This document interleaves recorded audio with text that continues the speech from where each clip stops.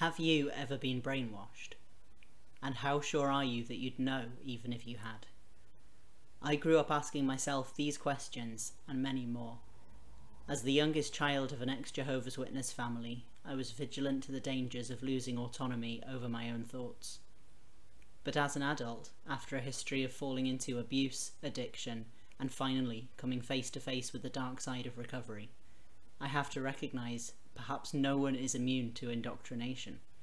What defines us is what we will do to break free and who we will become in the next chapter. Welcome to Not in Vein, the podcast about addiction, mental health, and recovery in all its forms. My name is Honour Script, a recovered ex addict and drag weirdo. My opinions are my own, and don't forget, listening to podcasts isn't treatment. If you're concerned about your substance use, then please seek professional advice. Some people may also benefit from mutual aid groups. On this episode, I'm joined by Susan Thorne, a former Jehovah's Witness, and the author of Held by the Watchtower, Set Free by Christ. Of course, I don't usually introduce her so formally. I just call her Mam.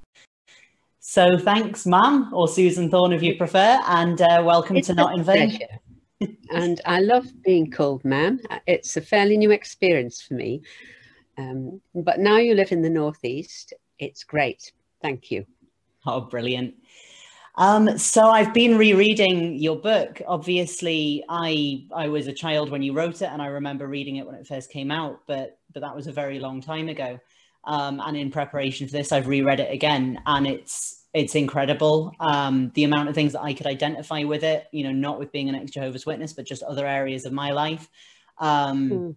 And just how completely honest it was, you know, at least as far as I can tell, you know, really didn't hold back from showing what a difficult time it was in your life.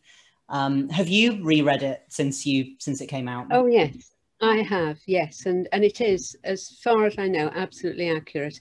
I didn't spare myself. Those years in that cult turned me into a hag, and I, I didn't hide that fact in in writing the book. I, I, I let it all hang out because it it destroyed me as a person. I, I, I, I truly hated myself, but I couldn't help what I was doing. I became so judgmental, so hateful. Um, yeah. So, how long were you a Jehovah's Witness for? I can't remember the exact timeline. It, it was a, an involvement over 15 years, roughly. Yeah. Um, I, I didn't become a Jehovah's Witness as soon as I got contacted by them. I was very argumentative and I didn't give in easily. I'd say they wore me down over three or four years before I finally got baptized as a witness. And then we had a bit of a, so I'd say a year detaching ourselves before I finally made the break. But altogether it was 15 years, which is a long time. 25 to 40, that, that was the my age. Yeah. Could have been the best yeah. years of my life when I could have furthered my career, perhaps furthered my education, done a lot of things. And instead I spent my time studying with them, going to a whole lot of meetings three times a week and going out knocking on doors almost every hour that was available. Hmm. I think it feels like a real theft, doesn't it, when you wake up to the fact that you've been involved in something that wasn't true to who you were meant to be. And yeah. when you start doing that mental arithmetic of the hours that you've put in, the emotional energy, um, mm. the sacrifices that you've made for something that you no longer believe in, it can be very difficult to recognize how much has gone. Yes, yes, certainly. And you mentioned obviously they kind of wore you down over a period of time. And something I found interesting in the book was that you you'd have had a kind of negative perception of Jehovah's Witnesses before you met them, but that once you started interacting with them, you tended to find them sort of very likable, easy to get on with. Um, yeah. And that was an interesting, there was a sort of reflection later in the book where I believe you were in hospital when you were giving birth to me and some hmm. Jehovah's mm. Witnesses arrived to see another woman who was in the hospital. Yeah. And you yes. referred to it as them being in the phase of ingratiating themselves. Yes. Um, yeah. that was very familiar. I remembered that for myself. Yeah. yeah. They called me when I was vulnerable. um, we had lived in a university city. There'd been plenty going on. We'd got friends. Um, I liked the house I lived in. And then my husband finished his PhD. We moved to a small market town. Um, there wasn't anyone there that I particularly related to. Didn't like the house, didn't like the countryside, didn't like the town much. And we were very cut off. My husband was going off early and coming back late, enjoying his career, doing extremely well. And I was in this house with my first child, my toddler, whom I loved very much, but a toddler isn't great company. And I, I fell prey to a knock on the door and two women wanted to talk. Now, I, I argued, I, I, I'm good at arguing, but they wore me down. Um, I eventually invited me because it was cold standing at the door, and they were very nice to my little girl.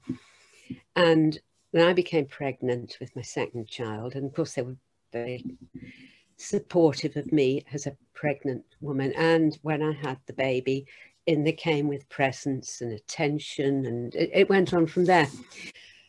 But it was difficult to extricate myself, and they began to convince me this was the only way. And I actually became afraid of giving it up.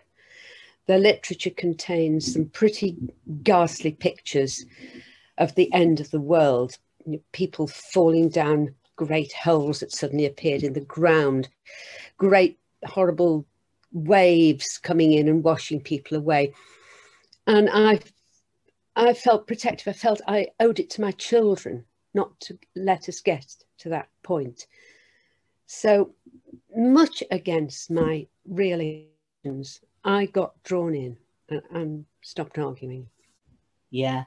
I was really interested, particularly around the sort of ingratiating behaviour. Are you familiar with the term love bombing? Yes. So this yeah. is something I hadn't heard it then, but that's yeah, that was it. It was. Yeah. Yeah. Yeah, so love bombing, you know, for anyone who hasn't heard of it, is um, I believe the term originated in describing domestic abuse relationships, but it is now used to describe how cults function, how uh, kind of scams function, like uh, multi level marketing as well. If you find people when they're at a vulnerable place, like you were when, when you'd moved area and you're quite lonely, um, and you meet all of the needs that they feel that they're missing in a very intense, quite codependent, quite overwhelming way you can cause a psychological dependence to form pretty much hmm. instantly. It's it's very very easy to manipulate people in that way. Um, do you think that the people who are doing that in the Jehovah's Witnesses, do you feel that it was sort of intentional manipulation or more just something that that they did without questioning? It's difficult to say. Um, a lot of them were really nice people the, the, the two women who contacted me were really nice people. I, I really related to them. They were very kind. At the same time, I, I know now that, um, well, I, I realised once I became a Jehovah's Witness, that everything they do in the course of door-to-door -door work and follow-up, they report, they have a little, a little um, sort of chart they fill in each month with how many hours they've spent, how many times they've returned to the same person, that's called a return visit, how many Bible studies they've made, how many pieces of literature they've placed. So they're always aware that is their overriding concern when they start their working day. And so they're very aware of that. So spending time coming into someone's house and spending time with someone who's just had a baby or someone who's not very well or someone who just wants to talk is all useful time. And it means that they're sitting down indoors rather than pounding the streets, knocking on doors. And so, although it comes over as love and care and attention, it's really time counting. Oh, it's all going to go on the report. So it's it's not as good as it looks. It's not as principled as it appears. Yeah. I think it just shows how there can be those multiple levels of motivation going on, where, as you say, a lot of them are, are genuinely, you know, kind, nice people, just like the majority of people yeah. in general are. But if you've always got that thought in the back of your head, I've got to make up these hours, I've got to fill out this card, even good motivations can become twisted over time. And it means, you see, that um, when you're studying with the Jehovah's Witnesses and they're bringing you into the organisation, they will spend hours with you. It, but it all goes on the report card.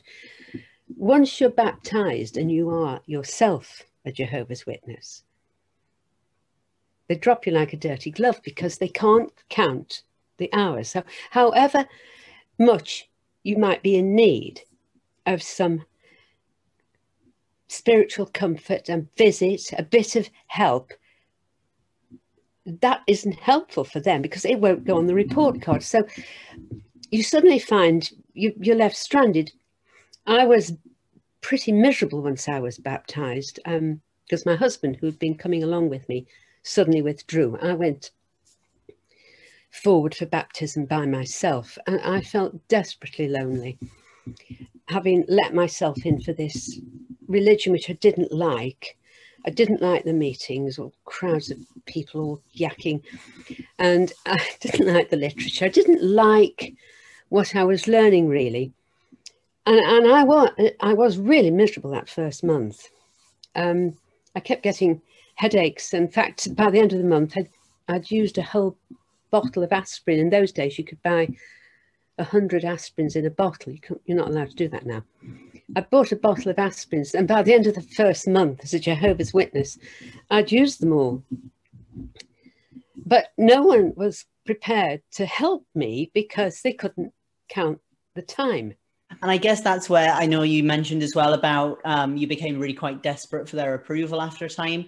And again, yeah, that's part oh, of how the kind of push and pull of love bombing works, where they'd mm. flooded you with all this attention and affection early on and then withdrew it and then it put that burden onto you to try to win it back and to try to chase it. Yeah. Um, yes. All of it was just pinging off in my head because I have a history of a, a, previous abusive relationship where I started to become aware of those patterns in, in my ex partner.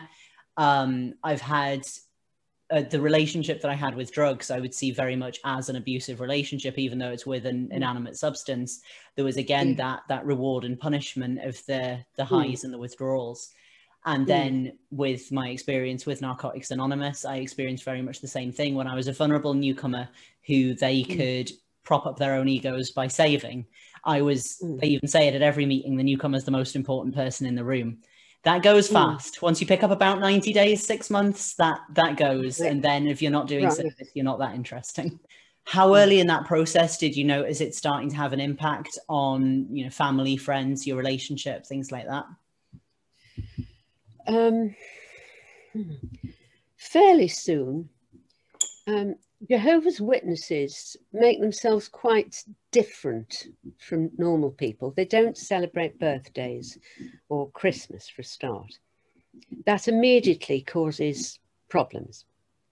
If you've got any friends who want to invite you out for a drink to celebrate Christmas or send you a Christmas card, you feel you can't reciprocate. And so things got difficult in that way quite quickly.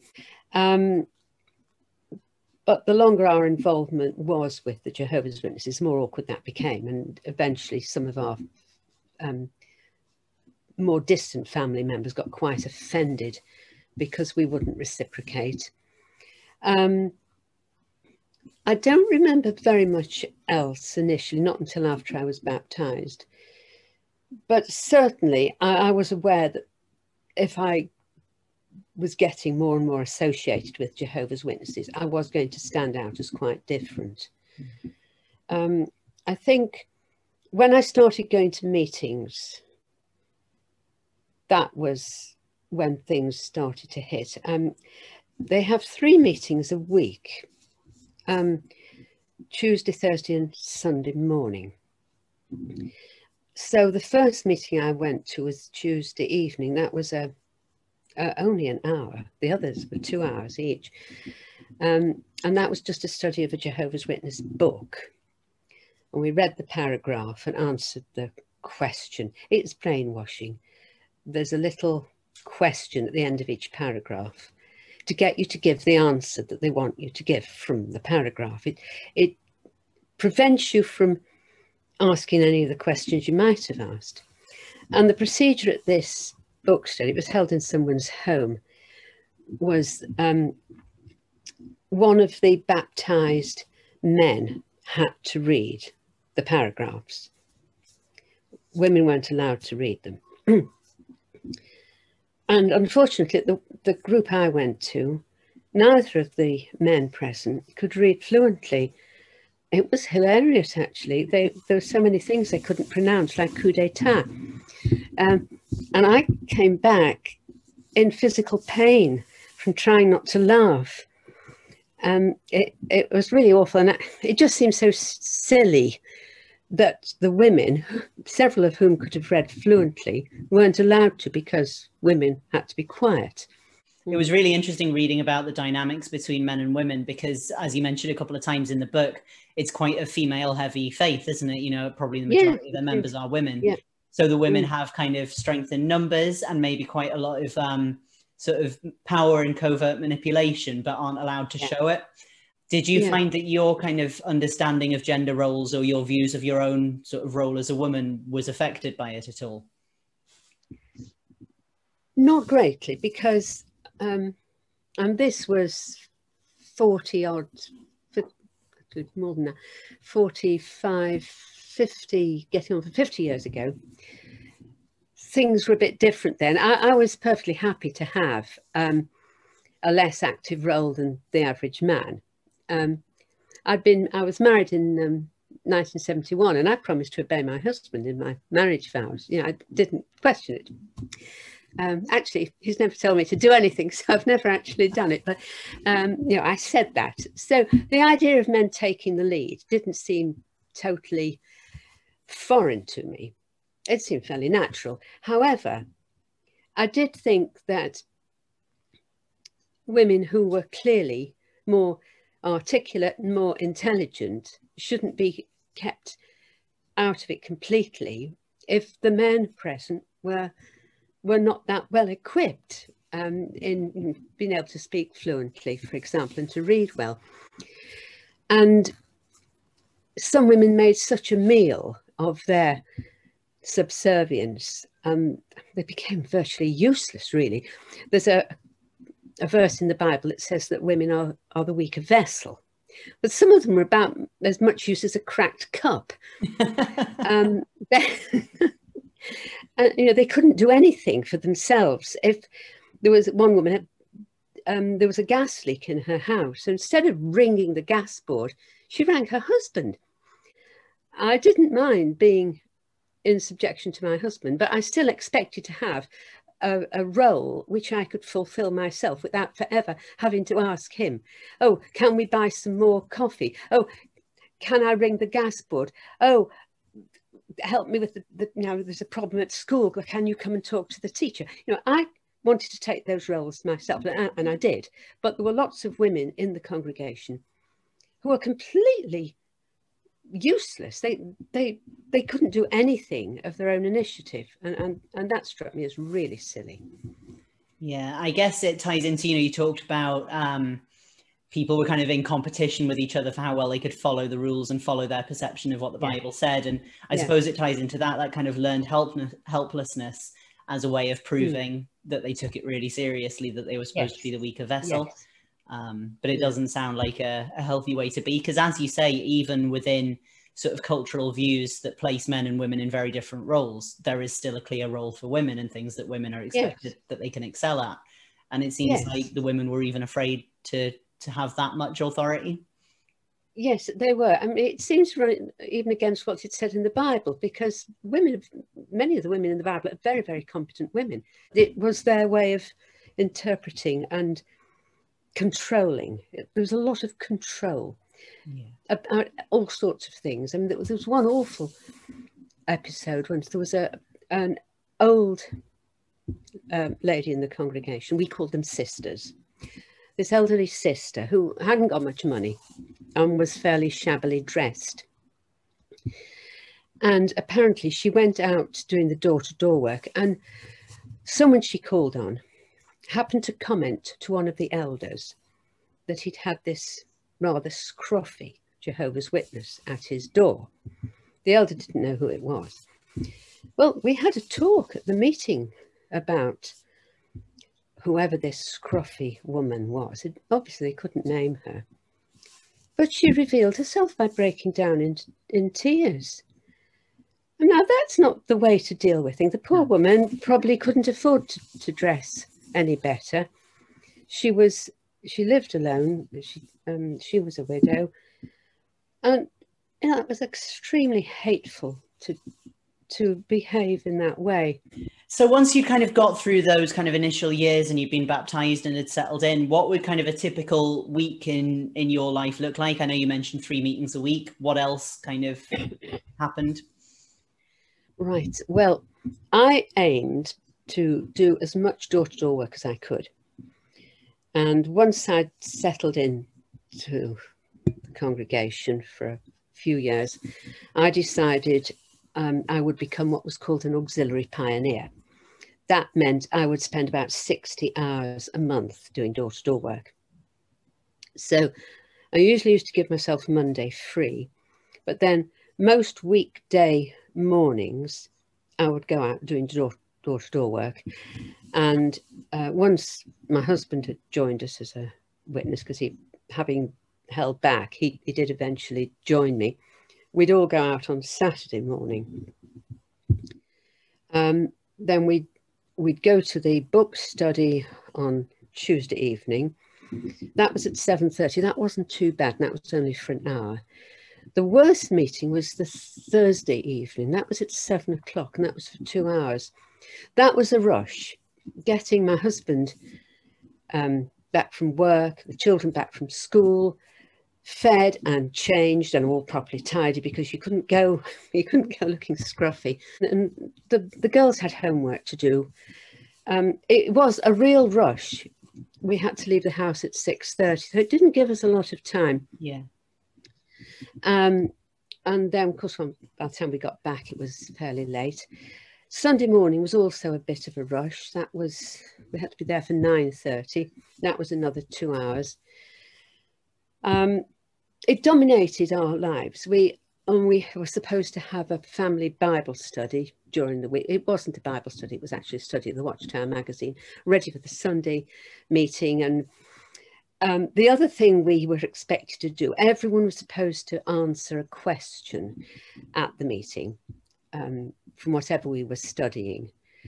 And that included the children. So I'd make sure my children got something to say and I'd say, well, you can answer that question make sure they knew what they were saying. Um, so it was it was a big performance. It was nothing like going to church and worshipping. It was a performance. And then twice a year, there was what was called a um, a circuit assembly. That was held in a, a big assembly hall.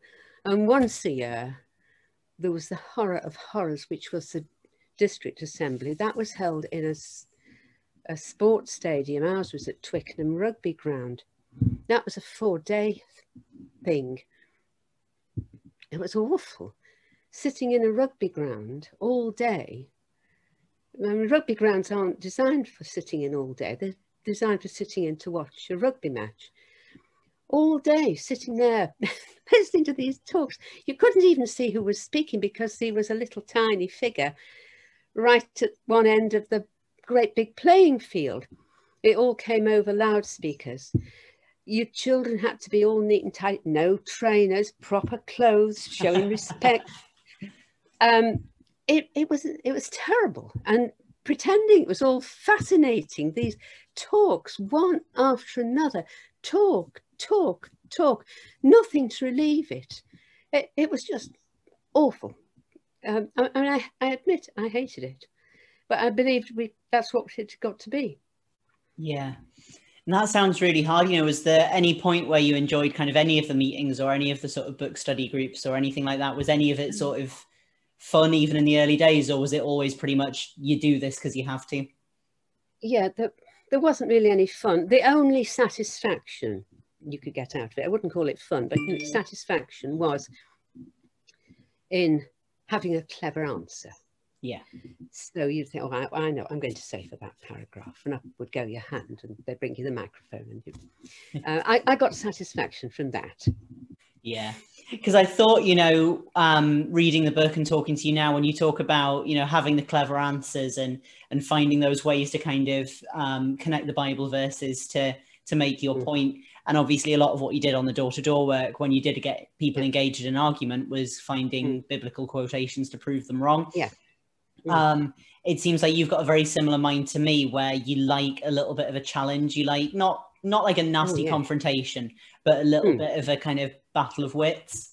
And it yeah. seems like maybe that's one of the ways they kind of got you hooked in, you know, because from what I've seen, a lot of people have this perception that stupid people get sucked into cults or get sucked into kind of manipulative or abusive hmm. organizations mm. or relationships. Mm. You know, it's seen as you are stupid and therefore you are weak, and that's how you end up in that position. Yeah. But from what I've observed, it's not usually i mean i don't really think of anyone as stupid but it tends to be kind of book smart people who get hooked by it the most easily because we have the complacency of thinking we can think our way out of anything yeah, uh, so we get blindsided and we love mm. getting drawn into a debate and once they've got you talking they've got you that's that's yeah. where it starts yeah yes I mean, there are some very gullible people who get sucked in um, who simply parrot everything they're told but yes it, it appeals to me and, and others like me, something to argue about. I did like doing the door to door work. I was good at it. I was good at it straight away. I didn't have to learn it. I just jumped straight in and did it. Um, some people are very nervous about doing that. I wasn't. So I enjoyed that. But I did not enjoy the meetings. Um, I didn't like a lot of the Jehovah's Witnesses, although I did have some very, very good friends in the witnesses. Uh, I didn't like the literature. Um, i I thought it was badly written. I thought it was badly presented. Some of the pictures were awful. And I, well, I quite often disagreed with it. Um, but all the same, I believed I'd got to stick with it. And we had this saying, the light will get brighter. So even if it wasn't right now, we thought, oh, it'll it'll come right later as, as more light is shone upon our understanding. Yeah. Yeah. I I try to stop just short of outright drawing a parallel between the Jehovah's Witnesses and Narcotics Anonymous because a lot of what you talk about in your book and the things I've heard and, and read from other sources show that there is a, a level of spiritual abuse happening in the Jehovah's Witnesses, which is yeah. unparalleled in any other mainstream organization. Yeah. Um, yeah. But the the things that you talk about about those discomforts with the official dogma and feeling you just had to stick with it and hope it would get better and knowing that might mm. take decades was a mm. struggle that I dealt with for the from day one from day one you know, the first NA meeting that I went to, there was a reading that said, This is a fellowship of men and women. And straight away, I knew I wasn't welcome. Um, in one of the first readings that I heard, you know, it talked about how terrible it is when addiction makes people prostitute themselves. And as a former sex worker, I knew that was not a politically correct way to be speaking about us. Um, yeah. I, I, read something, you know, three or four weeks in that talked about how sometimes it can be a good thing when someone dies of an overdose because it can inspire someone else to recover. And I was absolutely horrified, mm. but I thought I would die if I didn't keep going. So I yeah. squashed those feelings down. and mm. hearing you talk there, it's it's that thing of just sort of desperately holding on to the idea that maybe eventually some positive change will trickle through and that allows you yeah. to ignore everything that is really quite bad right now. Yeah, yes, and, and that, that's certainly the case with me. Um, as time went on, I found my thinking was switching round. It, it, I was brainwashed. Can't see exactly how it was done, but I was brainwashed. Uh, of course, conforming to Jehovah's Witness ways and beliefs is seen as maturity. Yeah.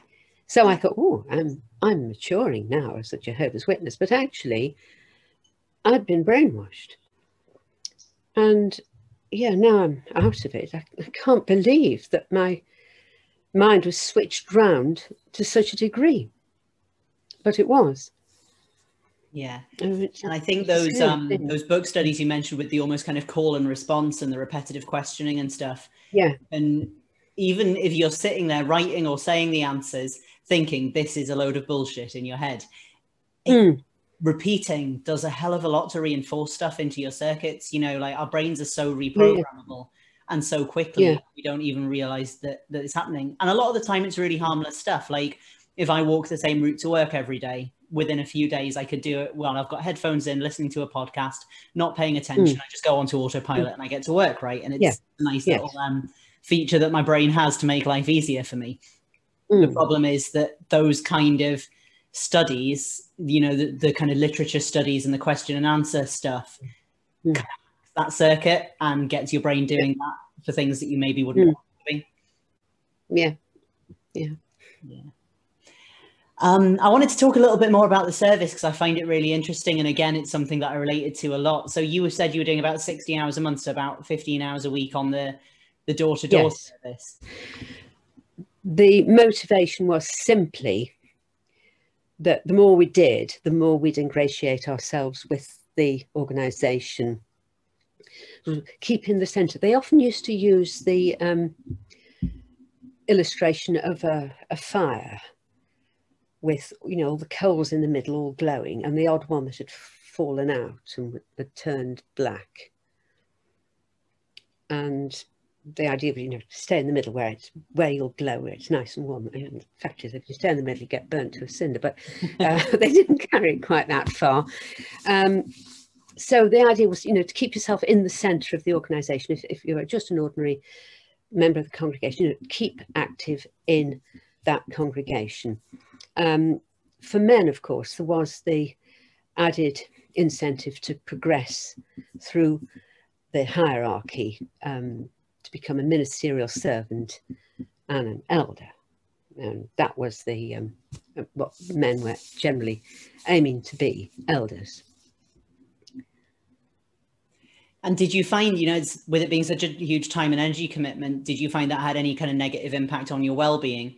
Because I've experienced that with, and this, to be fair, is not something I can entirely pin on Hmm. on NA. Um, is that I threw myself into NA service to a degree that was really, really damaging for me. Um, and only some of that was due to external pressure. A lot of that was due to my own kind of perfectionism and issues I hadn't worked Hmm. through. Um, but there was a point where I had 12 different service positions across various meetings and service bodies. Mm. Um, probably a similar time commitment to what you were doing. And I Yeah. started to just lose my mind. Like I just wasn't getting sleep. I wasn't eating properly. I was reliant on caffeine and stuff. You know, did did you feel there was any kind of effect like that? It, it did have a bad effect on my health. Um, I've always generally been very healthy. No, still am. But during my 15 years involvement with the Jehovah's Witnesses, especially once we started going to all those meetings, the stress of that really got at me. Um, it, it affected my, my digestive system, basically. I think I probably had an ulcer. I never had it diagnosed, but I used to get a most dreadful, sharp stomach pain. Um, I often couldn't eat, or I hadn't got time to eat. So, I mean, Thursday evening in particular, I hadn't got time to eat, or I bolted my dinner so fast it, it went down like a brick. And I remember some times during the meeting, I was in so much pain. Um, it was just awful. Um, at one point, I got so stressed up, I had difficulty swallowing. I, I did have to go to have an examination and I had a gastroscopy to make sure there was nothing wrong. There wasn't. There wasn't anything wrong. It was just stress. I found it interesting as well. Uh, a few minutes ago, we were talking about something around the door to door work, and you said you were kind of naturally gifted at it and you took to it straight away. But I know it's when you, around the end of the book, when you were talking about after you'd left, you know, you kind of wanted to reach out to people and make amends, and anyone you kind of converted to the witnesses, kind of rescue them. And your success Mm. rate at that point was zero. You you hadn't actually converted anyone. Is that the case? No, I hadn't. So if that's exceptionally good, I'm taking that to mean the majority of other Jehovah's Witnesses would were also kind of averaging zero percent success rates on the door to door work. Yes, the, the growth rate was about 1% a year on average. Yeah. Um, so some people were making converts. Uh, I'm really thankful I, I didn't. I'd have felt terrible if I'd brought anyone into it and left them there. Um, but yes, the, the growth rate was steady. I, I don't know what it is now. I haven't kept up with the statistics, but on average, it was growing by 1% a year at, at that, that time that we were involved. Which is so significant, you know, but it's not it's not enormous considering that not. sounds like the majority of witnesses are going out making attempts to make converts multiple hours a week. Oh yes. Well, you weren't counted as a Jehovah's Witness um, unless you were doing at least four hours a month. Yeah. it's interesting. A little while ago, I read something and I tried to find it to prepare properly for this. I tried to see if it was in my bookmarks and I couldn't. But it was a really interesting little analysis on why so many organizations and cults and and, and including some mainstream religions as well, um, particularly in, in maybe sort of pockets of those religions that aren't particularly spiritually well they have such a mm. strong and obsessive focus on going out and trying to convert people, and particularly things like cold cold calling and door mm. knocking, um, yeah. because they know it's got a low success rate. Um, same with people who stand in the middle of town centres screaming through a megaphone. They yeah. don't expect to convert anyone. The reason that that tends to be done is because of the psychological impact on the people doing it. So if yes, you're out in the cold and you're knocking on doors and you've got people opening the door and going, "Oh fuck me, it's Jehovah's Witness, get out, get off me step," yeah, yeah. that is reinforcing the us versus them. So you are safe in the kingdom hall. You're safe with the other witnesses, and like you say, they're showering mm. you with gifts and attention and love and support in the early yeah. days. And then mm. you go from in there to out there, where you're met with yeah. hostility, and you maybe encounter people who are dressed scruffily or only partially clothed, people smoking, people mm. drinking, people taking drugs. Mm and it's all these things that don't happen in your congregation and again that oh, is being reinforced the um, yes, the directive to convert is a lot more to keep people in than it is to bring people in i believe. It, it yes. certainly makes sense. Yes that that's that's very true. Um, and we used to see it very particularly when we had our ghastly big um, assemblies at sports grounds. Because um, I mean, during the 1980s when I was most active as a witness, there was a lot in the news about football hooligans and you know, riots after football matches and things like that. That, that was you know associated with big sports stadiums. And of course, the contrast when Jehovah's Witnesses were there was amazing because um, we were very proud. You know, we, there wouldn't be a riot. There wasn't any litter. Everyone was very orderly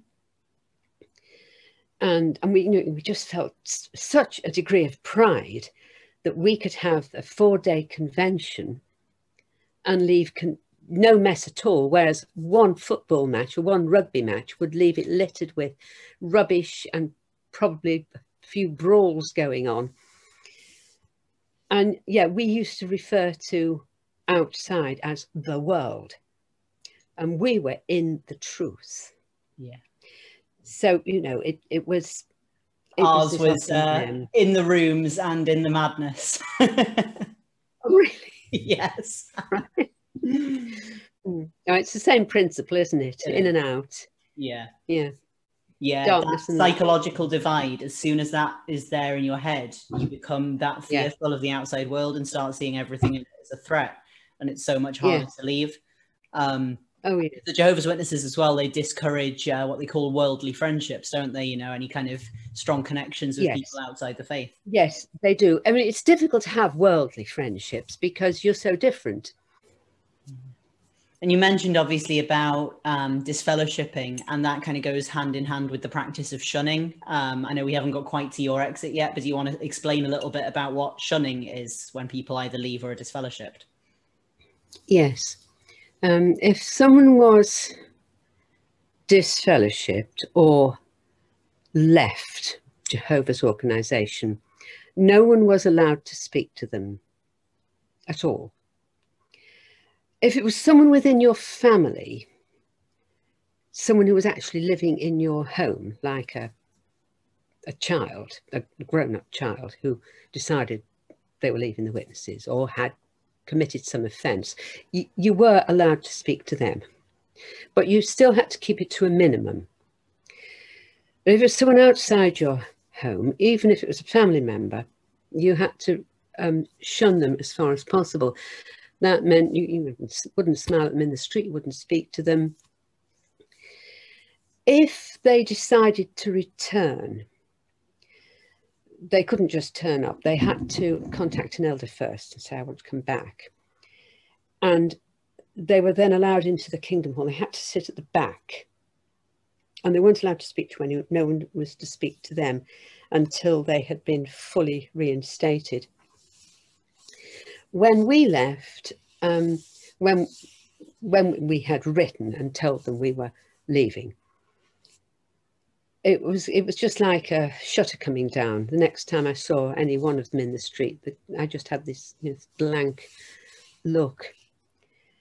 And um, I can remember on one occasion, I was going into a coffee shop and there was a woman coming out and I'd got you in your pushchair. and this woman held the door open for me. And as I was going through, something fell off the shopping tray and I was picking it up and um, I put it back. And the woman turned out to be someone from the Kingdom Hall. And when she saw it was me, instead of standing normally and, and smiling at this poor woman with a baby in a pushchair and a shopping falling off, she just stood straight up and looked up into the air like this uh, until I'd gone past through the door. Um, and on another occasion, I'd, I'd taken you into the park and we bought a drink and we went and sat at a table. And there was a couple of Jehovah's Witnesses at the next table. And when they saw us, they just got their drinks and, and went. They couldn't even stay within arm's reach of us in case I started to contaminate them. So it was it was very complete. The the worst thing was that um, there was one family who were very, very close friends. Now, they weren't in our congregation, they were in another one, but they used to come and stay in the school holidays. They had three children. Um, they used to come and play with my two, they'd stay over for a few days. We used to go out together and we really loved each other, really. And that was the worst thing. Um, I put off telling them that we'd left. We put it off for quite a while until the school holidays were approaching and I'd, I'd got to tell them. Um, it was one of the most harrowing things. Um, I spoke to the mother of the family. She cried when I told her. I cried. Uh, that was it. We we couldn't we couldn't see each other anymore, and and that was it was that was a big wrench. It upset my daughters, of course. Um, but we we knew it was the right thing to do. We you know we, we couldn't continue the friendship if they wouldn't speak to us. Well obviously we we would have been delighted to see them but since they weren't going to be allowed to speak we we couldn't. So no not really. It's a shame. And it's it's such a harsh rule to have. Um and even though it's not a rule that that NA has, it's something I've unfortunately experienced. I've lost probably 100 friends in the last year um, which has been brutal. And I was kind of mm. reflecting when I was reading it today, you know, it touched a nerve. Um, and I, I was reflecting, you know, when I left, the three responses I had from people were that uh, they would miss me and would see me when I came back. like yes. very clear, you know, you will be back and we will not speak until you do, but said in a nice, uh, friendly way.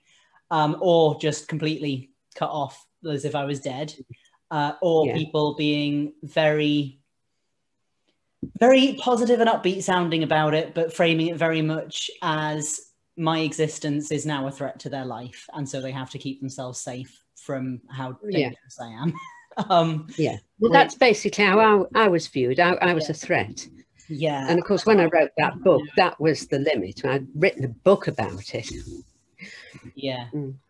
yeah it's again, it comes back to the us versus them thing. As long as soon as someone takes even half a step over that line towards being them, they become a, a hostile sort of force, um, whether they have any desire to be or not. I mean, I guess with you having written a book, maybe you sort of uh, participated in that role slightly, but but it wouldn't have mattered whether you had or not. You know, it sounded like their their minds were already made up. Oh yes, yes, they were. Um, so we've talked a little bit uh, there about what happened sort of when you left. Um, and you mentioned earlier the process of building up to leave took you a while. Um, what was for you the kind of the moment where you decided you were definitely going to go and that you were done with it? Um, well, it was it was when I realised they were actually misrepresenting the Bible. Um, they were also misrepresenting other information. Um, now both Mike and I spotted this and caused us both quite a, a, lot of trouble.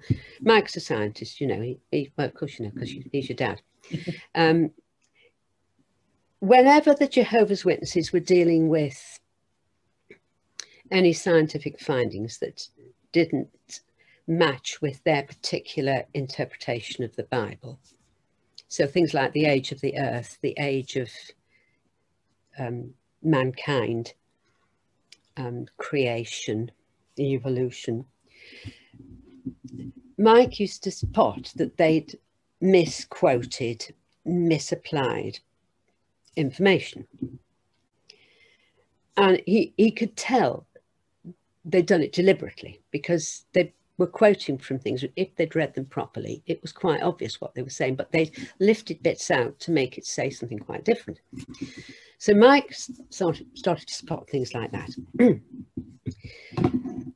I started to spot things where they were quoting anything to do with child psychology because that had been my subject when I was a student. And you know, they just handled it wrong. And what they the co conclusions that they drew were wrong. Well, that was bad enough, but then they claimed everything they believed was based on correct interpretation of the Bible. And I found that they were actually doing exactly the same thing with the Bible. They were lifting out half verses straight out of context and then telling you what it meant, when in fact, when you put it back in the context, it says something completely different.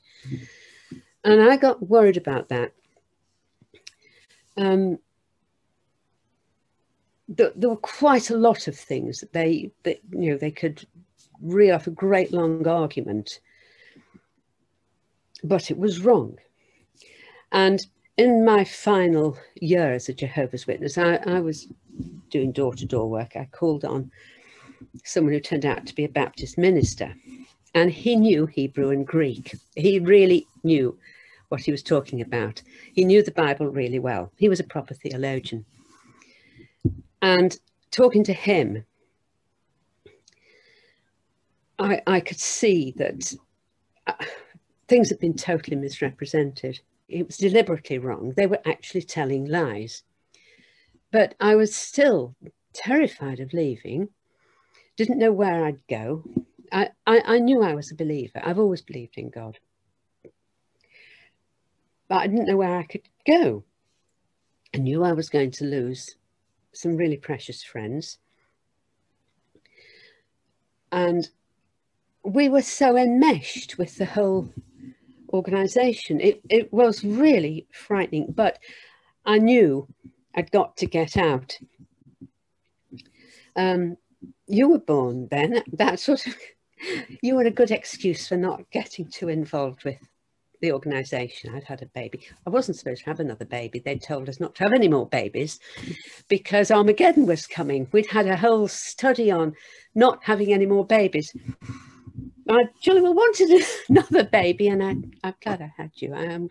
That really like was really interesting though when I was reading the book that I think you'd said that you'd been going to have another baby in 1987 and then didn't because yeah. Of, so if you'd had another baby in 1987, I wouldn't exist. Yeah. So no, you wouldn't. We're all right in the end. Yes, no, it's worked out. Um, so that sort of gave me a bit of a breather.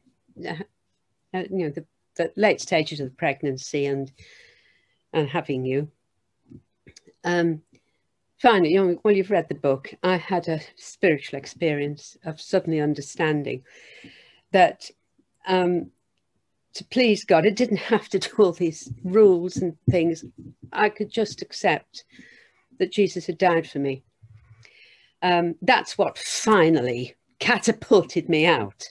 Um, and it all well, it all came about, um, and it happened to be a Sunday morning, so I went to church. Went to a church with the longest drive, so we could sneak up in the car and sort of whip out and get into the church without being seen, because at that point we didn't want to be seen going to church. We wanted to leave in an orderly way. We didn't want to get disfellowshipped. Yeah. Uh, we wanted to take our time and write a letter, do it all. You know, it's taking um, back control, isn't it? That's so essential after a period of feeling like it's been taken away from you. You need to set the terms yeah. of, of what happens next. Yeah. Mm. Um, I guess speaking of what happens next, it was interesting, you know, finishing the book today it ends mm. almost with an abrupt happy ever after you know maybe like two or three pages of sort of like and then everything was great and everything was fine yeah i know yeah. obviously you wrote the book in 1998 so only about eight years after you'd left um yes. Reflecting on it now do you feel that that was as simple an exit as you felt it was at the time?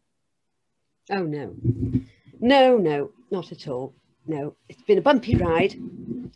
It's been worth it but it's been a bumpy ride. Um Unfortunately, the church with the long drive was pretty cultish in itself. Um, it felt like perfect heaven when we first went, and of course, everyone was very kind, very attentive. There I was with a, you know, a new baby, so they all came and cooed over you, and they were very, very kind.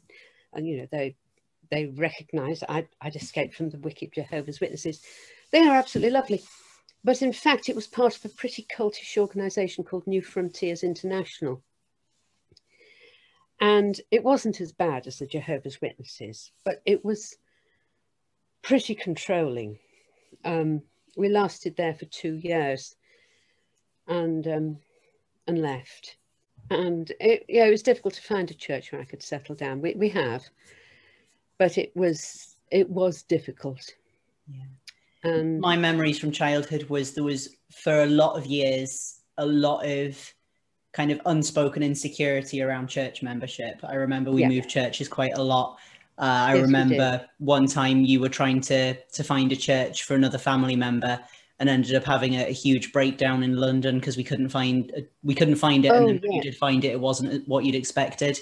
Oh, no. I remember not understanding it at that age. I didn't understand why you couldn't just pick one that mm. was good enough and we'd settle. But reading this again as an mm. adult, I get it. Yeah. You know, there was that need for it to not be what you'd come from, to not have those oh, yeah. situations. Yeah. Yeah. I, I, I think unless you've experienced being in a cult, you don't really realize the, the dangers.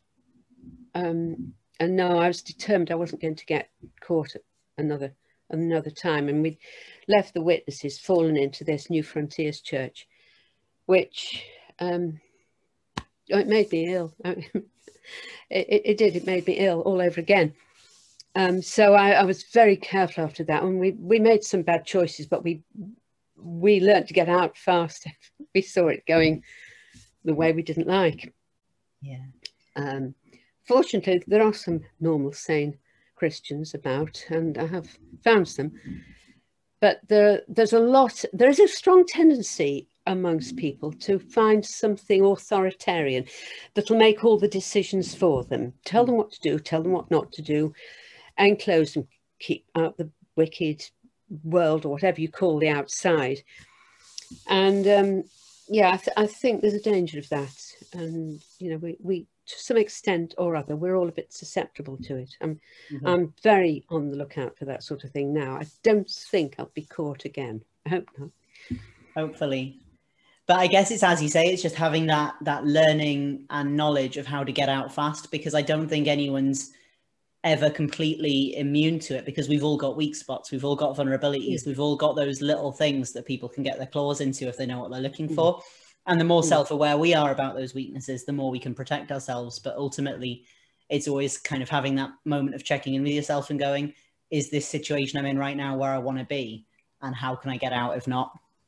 Um, yeah which I guess can also lend itself to hypervigilance, which is just as unhealthy as getting hooked into another it, cult, it? Yeah. yeah. I wonder if, you know, because I know that you obviously made the move from the Jehovah's Witnesses to, I think it's fair to say evangelical Christianity was the kind of main sort of flavor that you fit into for a while? Initially, but I've, I've moved right away from evangelical yeah. Christianity now. Yeah. Um, And because I think a lot of when their- you wrote the book, you know, you'd maybe started to to move away a little bit, but um, there was a bit Yeah. that amused me a little bit when you mentioned that your youngest child would be raised wholly Christian, um, which Yeah. obviously didn't didn't quite play out no, it didn't work. with it all the right work, intentions from your side, but um, Yeah. I guess there was still that kind of internal pressure that you had that there was one truth and it must be shared with with everyone whether they wanted it or not. And Yeah.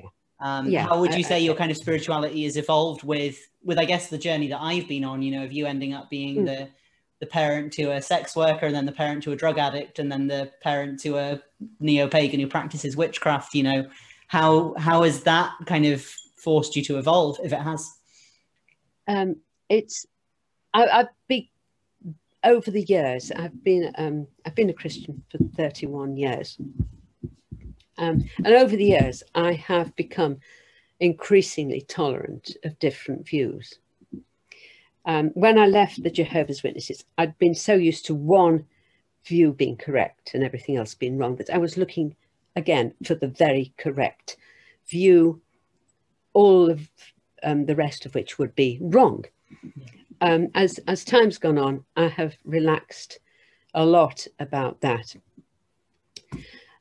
I, I guess I wouldn't have been delighted years ago to think that you were going to relinquish Christianity and become a, pagan and whatever else. But I can see how much good your faith has done you. I'm certainly not prepared to say, oh, that's rubbish, that's evil, there's something wrong with that. Um, and I can, I can see your faith is good for you.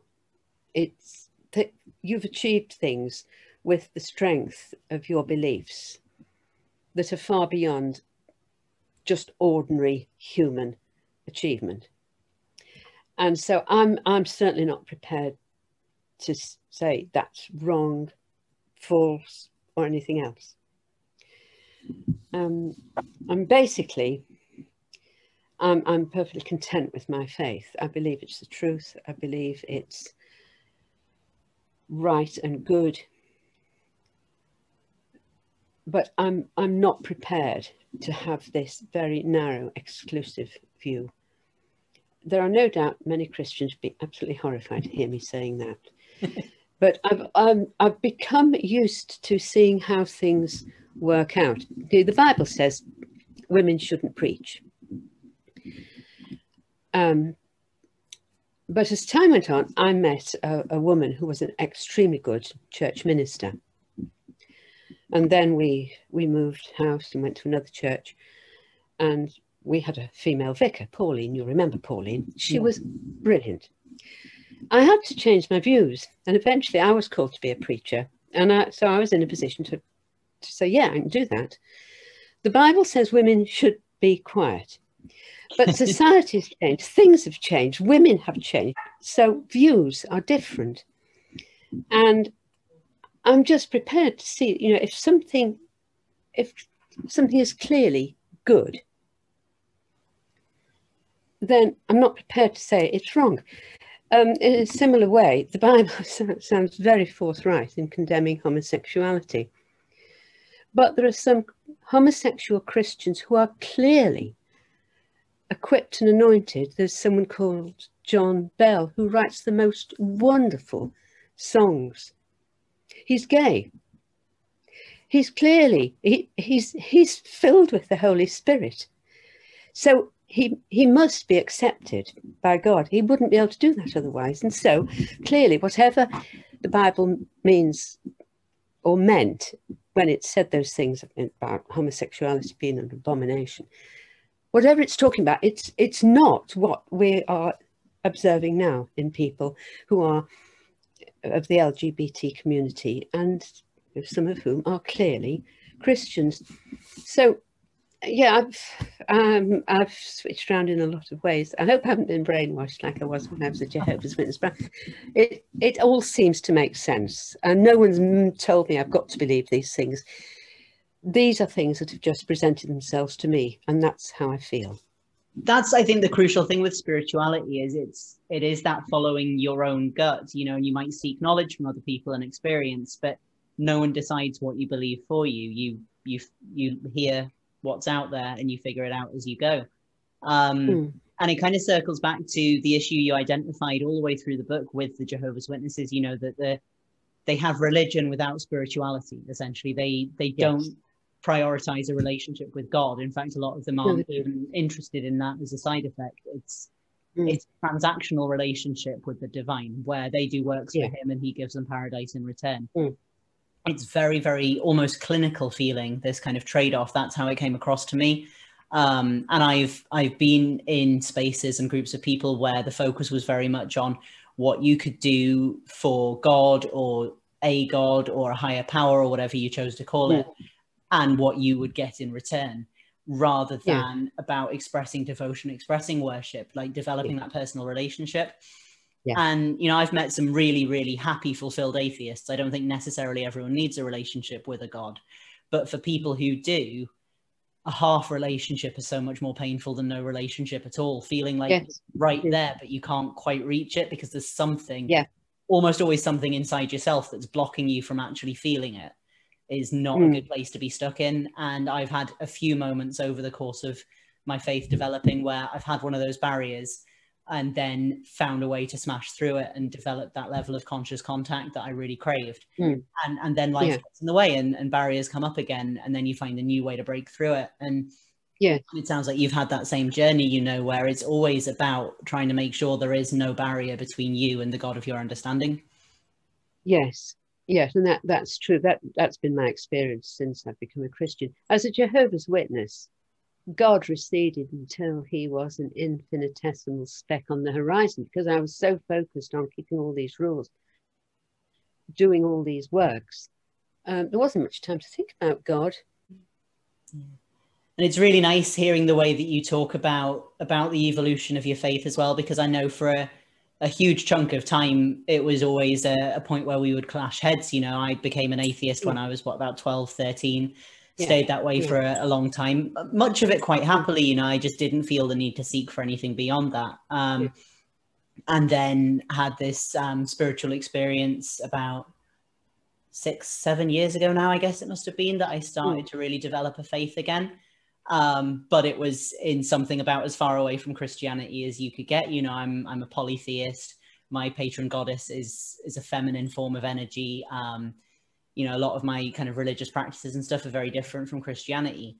But I find now when I have conversations like this with people who have maybe a more conventional sort of uh, religious style, is that when we talk about spirituality rather than talking about our religious practices, yeah. we connect you know if i talk yeah. about like how i pray or what i believe my my goddess is like and, and things like that we start to drift apart but when we talk mm. about that personal relationship with the divine being guided by your gut being drawn mm. to develop that relationship further that is what unites us you know i was on the last yeah. episode talking to to mandy lee about this um Mm. She's got some spiritual practices that just don't align with mine and that I don't really understand. But when we talk about why we do our spiritual practices, we are exactly mm. on the same level.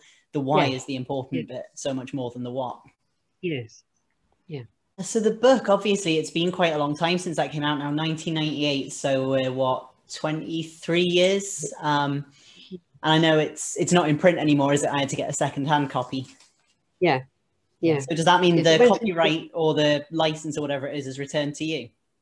Yes, yes, the copyright's mine now. I, I can do things with it. Um, I, have often thought about doing things with it. I haven't, not yet. Uh, I'll have to give that some thought. Yeah, uh, I think it's a it's a story that still fascinates people. Um, getting out of a cult is it's always an interesting story.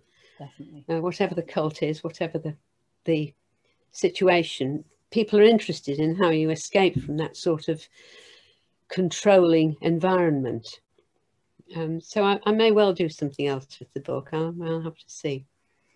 Yeah, because there's so much potential there. You know, it, it, feels very fresh. You know, considering that the story takes place obviously through the the 80s mainly, um, and mm. the hmm. book was written more than 20 years ago. It feels very fresh. It feels very current. And although the Jehovah's Witnesses beliefs will have evolved a little bit over time. A lot yeah, of those really harmful practices, like like shunning, like the banning of blood transfusions, mm. um, will be very much the same. So it feels like it, it could be the time for a, a new edition or maybe even a sequel. It would be interesting to mm. to have a more deep look at, at how yeah. things evolved for for you and and how you kind of heal, you know, how you recover from a trauma like that. Um, yeah. Because it is a trauma, even if you kind of mostly get away unscathed. I think 15 years of being lied to and of having to be guarded with how you express doubt and having mm. other people messing with your autonomy of your mind it's mm. it's a trauma and it'd be fascinating to dig deeper into kind of how you've learned to heal from that